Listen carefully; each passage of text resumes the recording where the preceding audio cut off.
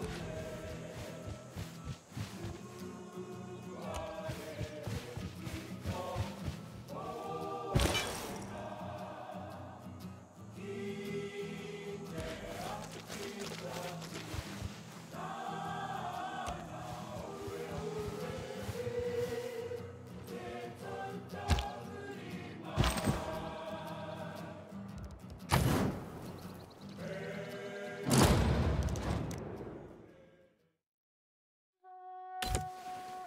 Nay.